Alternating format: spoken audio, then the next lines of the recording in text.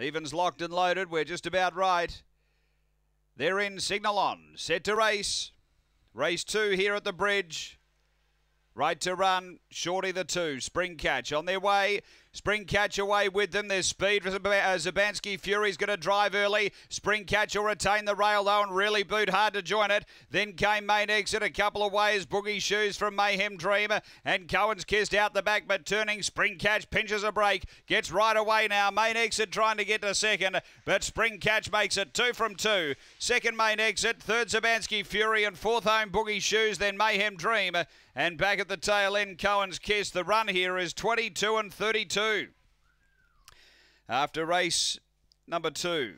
And a uh, good win here. Spring Catch getting the prize has uh, gone 22-29 in fact. Number two, Love the Rail. She uh, smoked up on the inside, able to take the lead and kick for home. Uh, just did look to be getting a little weary in the run to the wire. Main exit was taking some ground off her, but uh, has done enough.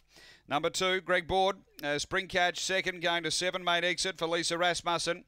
And third to four, Zabansky Fury for Tony Henriksen. It's 2 7 4 8 after race two here at Murray Bridge.